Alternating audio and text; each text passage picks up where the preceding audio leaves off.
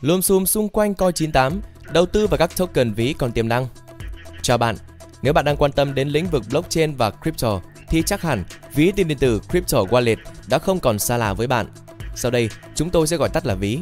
Trong tài chính truyền thống, nếu ngân hàng là nơi trực tiếp quản lý tài khoản tiền của bạn, nắm toàn quyền sinh sát trong tay, thì với thế giới crypto và web 3, bạn sẽ sở hữu hoàn toàn tài sản crypto của mình mà không bị phụ thuộc vào bất kỳ bên trung gian nào. Để làm được điều đó, bạn cần phải có ví để lưu trữ và bảo vệ số crypto của mình.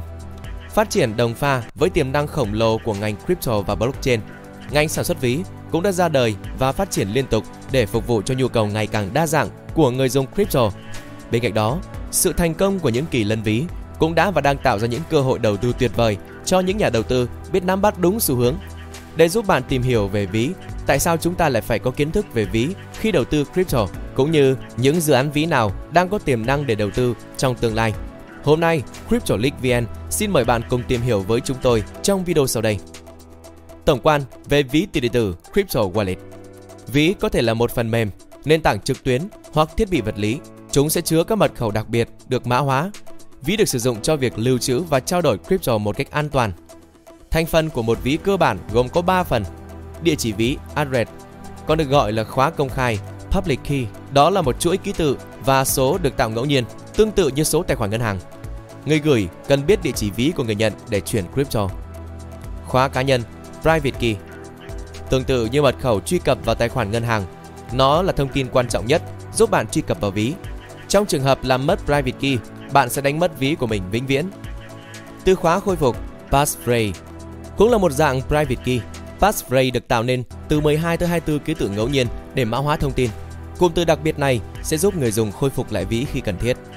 Có nhiều cách để phân loại ví. Tuy nhiên, dựa theo đặc tính kỹ thuật, ta có thể chia chúng thành hai loại chính là ví nóng và ví lạnh. Một, ví nóng. Đây là loại luôn được kết nối internet và người dùng có thể truy cập chúng từ bất kỳ đâu, miễn là có internet. Ví nóng thuận tiện cho các giao dịch nhanh chóng và tiện lợi. Có 3 loại phổ biến thường được sử dụng trong phân khúc này là ví web, ví trên desktop và ví mobile. Ví dụ, ví web sử dụng tiện lợi nhưng độ an toàn không cao. Private key sẽ do bên thứ ba quản lý.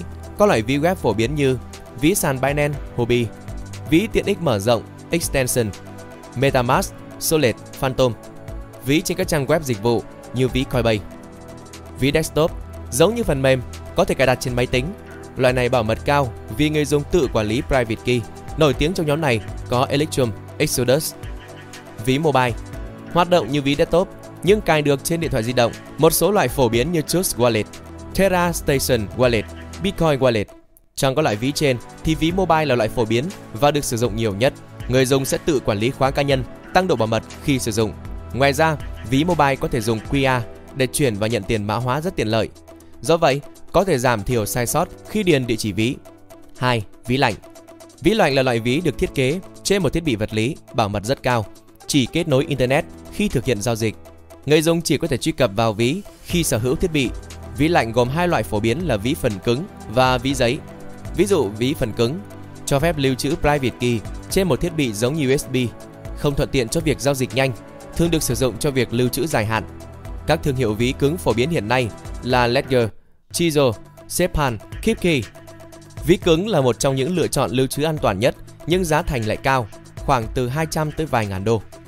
Ví giấy là một tờ giấy có chứa public key và private key dưới dạng mã QR.